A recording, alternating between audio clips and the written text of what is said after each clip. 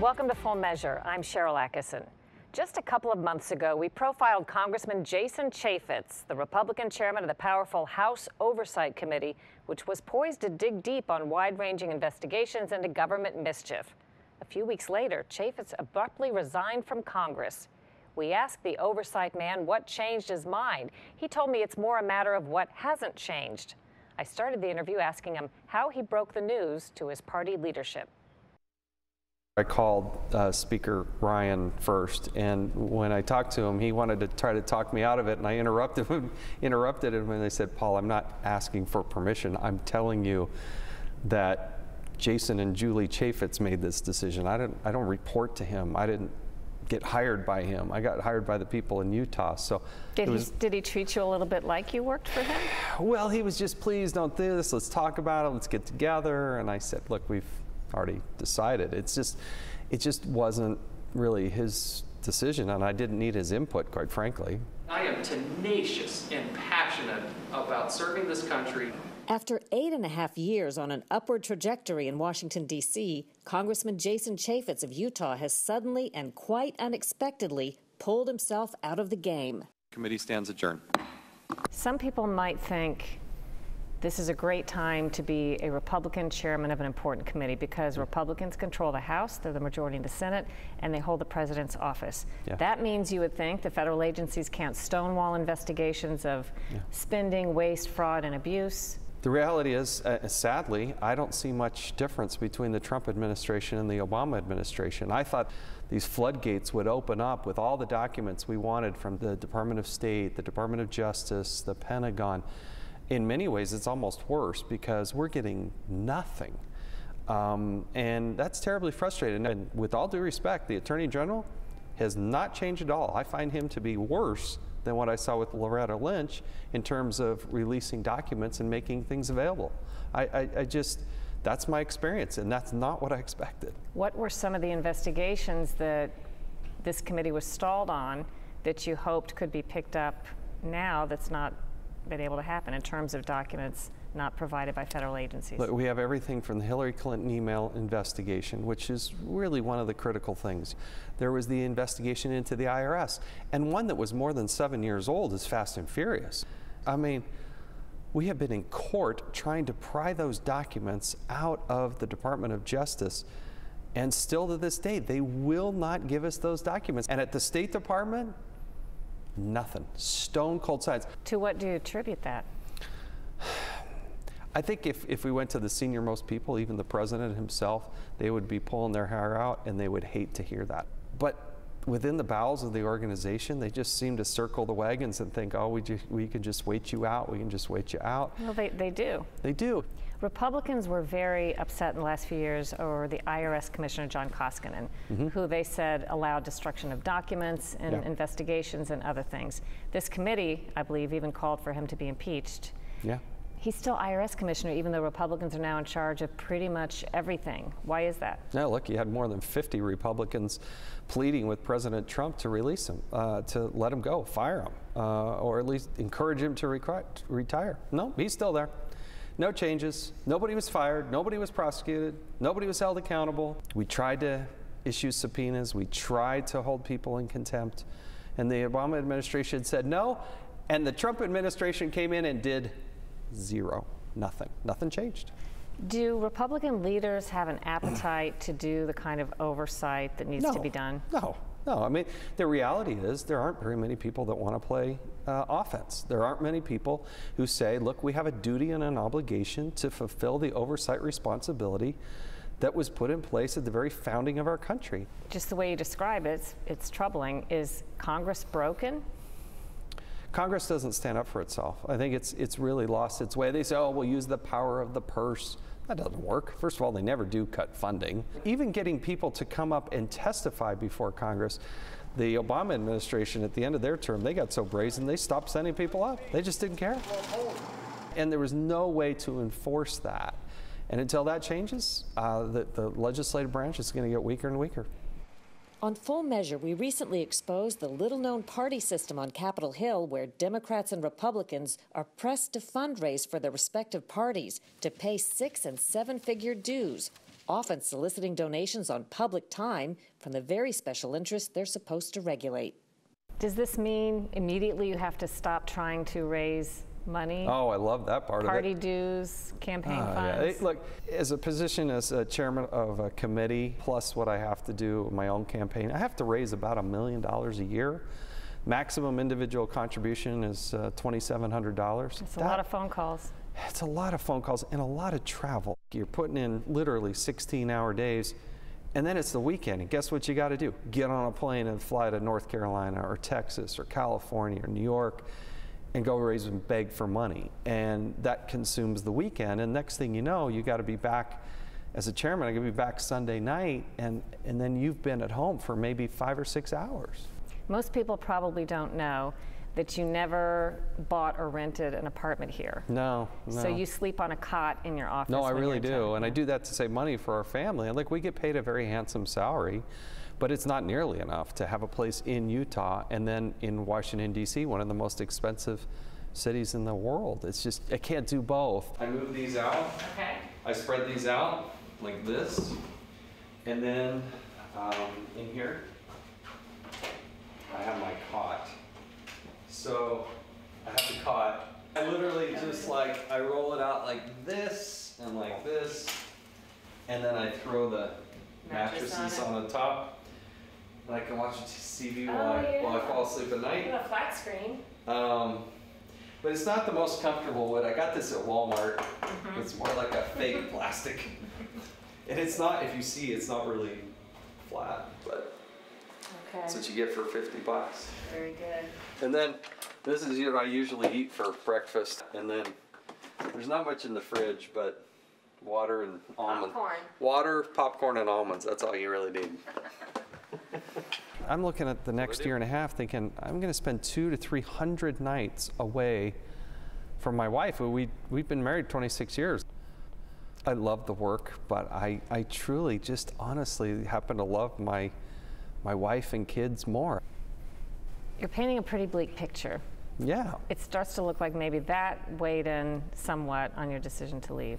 Look, first and foremost, it really is a family decision. I, I love being engaged in the fight, but yeah, there, there does, after nine, you know, eight and a half, nine years, get to be a, a degree of frustration that, hey, when are we going to get serious about changing these things? Because the American people, when I first started, they had Democrats who had the House and Senate and the presidency. And that whole pendulum swung, but I'm telling you, in the first five, six months, I don't see any changes.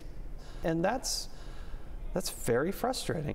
You come to that point and say, all right, it's, it's time for a change. As for what's next, Chaffetz said he's not ready to talk about it. He leaves Congress June 30th. Today, an exclusive first look at a new report that says you can put a price on success when it comes to Congress. The report by Issue One exposes the secretive money system in which members of Congress buy top spots on the most powerful committees. To raise the money they often collect from the very interests their committees are supposed to oversee. Our cover story is The Price of Power.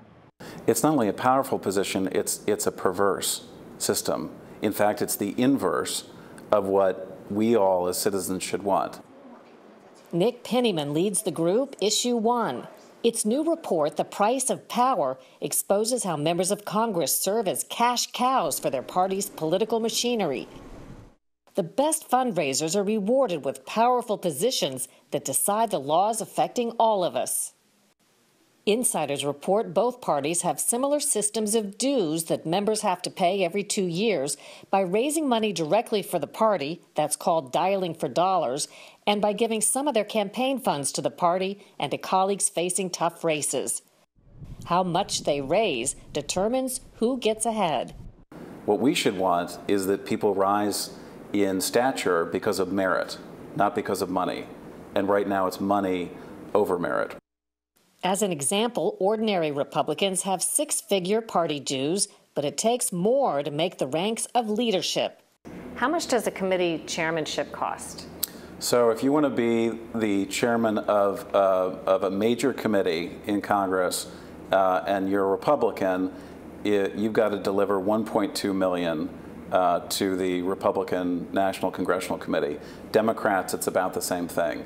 It's almost like paying for the privilege of obtaining a certain position. It is borderline extortion. It's a far cry from bygone days. In the 1960s, a mere $100 donation could get you not only dinner with congressional candidate Shirley Temple, but also host Bing Crosby. Today, besides the $1.2 million required of A committee chairman, Republicans who chair secondary B committees are expected to raise $875,000 in dues. The top Republican in the House as Speaker has to raise $20 million. The number two majority leader, $10 million. Such details, held tightly to the vest for years, come from some of the 180 former public officials who belong to Issue One's bipartisan Reformers Caucus and say they're sick of money's influence in politics. Former Congresswoman Connie Morella. I think we have reached uh, crisis proportions when it comes to money. A member of Congress devotes almost one third of every day to raising money former Senate Majority Leader Tom Daschle. People leave on Thursday, they come back on Tuesday, they try to govern on Wednesday these days, and you can't run a country this complicated with the challenges we face and spend so little time doing so. Former Labor Secretary Bill Brock. If you tell me that the problem of money in politics, the distortions that it creates, uh, is just going to keep getting worse, shoot me. Shoot me. It's a flawed system, and it's like a nuclear arms race. The Democrats do more of it because the Republicans do more of it. Tennessee Republican Zach Wamp co chairs the Reformers Caucus. He was in Congress from 1995 to 2011. How are the members told how much money that they ought to raise? So the committees usually in the spring, and they just did this a month ago, they come out with a quota. And it basically says that if you're a chairman of a regular committee, it's X dollars. And if you're chairman of an A committee, an exclusive committee, it's even higher. So if there's enough money in your campaign account, you can just cut a check. Uh, or if you don't have enough money, you have to go over and what's called dialing for dollars. You sit in a little booth, they give you a list, you call people that you don't know who don't want you to call them, by the way, and you ask them for money. You tell them we have this spring event coming up, and maybe President Trump is going to be there, and will you please dedicate ten or twenty-five thousand dollars or fifty thousand dollars to this dinner?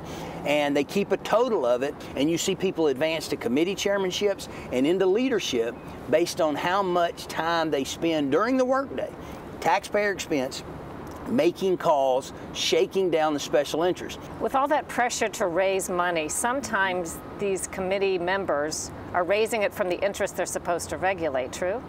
Well, not only do they, they actually intentionally give you those lists of people that have something to do with your committees because they know that they're the ones that are most likely to say yes. Doesn't that pervert the system by which the members of these committees become beholden to the very people that they're supposed to regulate or oversee? Of course, yes. Necessary for household wealth to grow. For example, the House Financial Services Committee oversees matters involving everything from Wall Street and insurance to the stock exchanges. The big joke in Washington is that the Financial Services Committee is called the Cash Committee not because it deals with finances, but because just being on it allows you to raise so much money from bank lobbyists and bankers that it's like an ATM machine. The cash just pours in. On the heels of the mortgage crisis, as the Financial Services Committee considered new regulations on banking and real estate, money poured in from those industries. From 2009 to 2016, the Republican chairman of the committee, Jeb Hensarling, raised $10.1 million, half of it from finance, insurance, and real estate interests. He transferred 8.6 million of it to the National Republican Campaign Committee and other House Republicans. The committee's lead Democrat, Maxine Waters, raised $3.7 million, one quarter of it from finance, insurance, and real estate donors. She transferred about $798,000 of that to the Democratic Congressional Campaign Committee and other House Democrats. Hensarling and Waters didn't respond to our request for comment. If there are members on the Financial Services Committee and they're having to raise that much money and they're taking it from the banks they regulate, who's going to have the leg up when it comes to the kinds of laws that they support? The kind of sad joke in Washington is you lean towards the green. And when you're on the Financial Services Committee, let's say, and most of your money or a big chunk of your money is coming from bank lobbyists that you're supposed to be regulating, unfortunately, you're probably going to lean more towards what they want. The Democratic Congressional Campaign Committee and National Republican Campaign Committee didn't respond to our repeated requests for interviews and comment. The system is so bad that the members hate it. Members of Congress hate to do it. The people they're calling hate to be called. What happens if they buck it? If someone says, I'm not going to raise this money? You won't advance, and they'll put their thumb down on you. They even ridicule you publicly at the meetings. This person is not making the calls, they're not raising the money. So while they might rather be taking care of the people's business, many spend countless hours catering to the interests that will help them pay their party dues. And I hate to use this word, but it makes prostitutes out of our elected officials when the leadership says if you want to advance, you have to demean yourself and go over there at taxpayer time and make phone calls to people that don't even want to talk to you, asking them for money for your party so that you can somehow advance the cause of good government. It really needs to change, and it's going to take the country because I can tell you they're not going to change it because they're stuck in this system and they're proliferating against each other, the two parties. Issue 1 says a simple solution that could be done immediately would be for the House to change its rules to say that fundraising cannot be taken into account when choosing committee members. No such plan is on the table. Today, we begin with an extraordinary interview with a sitting member of Congress. It will make you mad, but it's something you should hear. Republican Ken Buck is speaking out of school about the shocking transactional nature of Washington politics, about party elites he says live like kings and govern like bullies. And he's lifting the curtain on why he says nothing gets done in Congress, describing collusion between Democrats and Republicans to fleece taxpayers on behalf of special interests. The game here is not to take a tough vote. Nobody wants to take, and Democrats, Republicans, there's a, a, quiet conspiracy going on that if you don't make me take a tough vote, I won't make you take a tough vote. A tough vote, says Congressman Ken Buck of Colorado, means anything that cuts spending or programs that benefit political and corporate interests. And the result is that the ability to cut federal programs or to uh, reduce spending in other ways uh, or to get our tax structure under control, simplify the tax structure, is, is very, very difficult. And, and uh, that results in higher spending. He says it's why Congress consistently spends wildly more money than it receives from taxpayers. $600 billion last year alone. Why the federal debt has been allowed to balloon to record levels. The U.S. owes about $20 trillion it doesn't have on hand. Is there an element of Democrats and Republicans may appear to disagree on some things in public, and yet privately they agree because they cater sometimes to the same interests? Sure. I, I, think I think Democrats and Republicans disagree on some social issues and make a big deal out of that, and they disagree on some some other major uh, uh, issues. But for the most part, uh, there, is, there is agreement behind the scenes not to make waves and, and to get things uh, done quietly, not, not, not good things, but things that involve spending more money. If, if I scratch your back, you'll scratch my back. Is what you describe what some Americans might call the establishment? Absolutely. The, the establishment are uh, the, the Republican leadership and Democrat leadership getting along and pretending not to, but, but clearly getting along. A former federal prosecutor, Buck has been in Congress less than three years. He says his education from Washington, D.C. School of Hard Knocks began right after his election during his orientation trip to the Capitol. And that's when a lot of the rules were explained to us about the dues to the NRCC and uh, other requirements. He was stunned, he says, to find the NRCC, the National Republican Congressional Committee, just like its counterpart for Democrats, requires hefty party dues, especially if members hope to aspire to meaningful positions. Talk about a record $30.1 million right here in this room. Give yourselves a big round of applause. It's uh, mildly offensive to think that uh, to uh, serve on a committee in Congress, you need to pay a private political organization uh, dues, and, and that's what that's what they were asking for. Did you have any idea before you were elected that that was the case? I did not know that there were mandatory dues here. No. How did they tell you? Uh, well, it's not a big secret. they, they have a big chart in, in uh, uh, the National Republican Congressional Committee offices, and you can see uh, everybody's name and, and the dues that they owe and, and how much they've paid. What was going through your mind when you started to hear this news? Well, as, as freshmen, we have to raise $200,000, and that's a lot of money. You know, I just finished campaigning and, and raising money, and, and now I had to go back to donors and uh, ask them for money again. Buck reveals the unwritten rules and outlines his allegations in his book, Drain the Swamp How Washington Corruption is Worse Than You Think. He says to meet fundraising quotas, members of Congress spend hour upon hour of public work time asking for money from the very interests they're supposed to oversee, ending up beholden to them instead of the public at large. For people who really have no idea how things work up here, can you tell us how the special interests and corporate interests, for example, actually influence members? How does that happen? It starts with committee assignments. If you're on the Transportation and Infrastructure Committee, the uh, transportation bill will come before your committee, and all over town there will be receptions. And the members on, on the Transportation Committee will be invited to those receptions, expected to attend those receptions, uh, and receive uh, donations as a result of that. They know that the, the easy money, the low-hanging fruit, is going to be at uh, receptions uh, that, that, are, that are given right before a major piece of legislation goes to committee. Everything is called across the street because the Capitol behind me, uh, you can't accept money there and you can't give money there. But uh, once you walk across the street, then, uh, then the bags open up. Restaurants around here? Restaurants, the, for the Republicans, the Capitol Hill Club has a lot of different receptions and dinners. Industries paying for those receptions and dinners include tobacco, telecommunications, pharmaceutical, TV broadcasting, beer and wine, defense, and Hollywood. Democrats have their own fundraising hangout nearby, the National Democratic Club. I've attended receptions where I've had 10, 12 different uh, corporations represented, and they have made their case to me on why they need me to vote a certain way on a piece of legislation. And I know that if I accommodate them, I will uh, have a reception later on where they will support me. You're describing an entire system where almost every consideration that ought to be for constituents is instead about special interests and corporate interests and donations. It, it surprised me when I got here, and, and, I've been involved in politics since I was a teenager. Um, and, and, getting to this place is, is really shocking to see the influence that money has uh, in politics.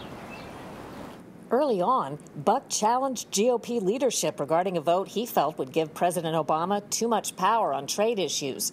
Republican leaders retaliated by trying to oust him as president of his freshman class, but he went on a public offensive and survived. He says he's watched colleagues get punished for doing what they think is right instead of what party bosses demand, booted from committee positions, and even denied dining room privileges. The incentive structure right now is to vote for more money. You never vote for less money because someone's going to get mad if you vote for less money. And so, as long as we, uh, as long as the American public doesn't stand up and demand that members of Congress are accountable, uh, Congress will continue acting the way it does. Do you think a lot of people come to Washington really hoping it will be different and planning to work for their constituents and just find out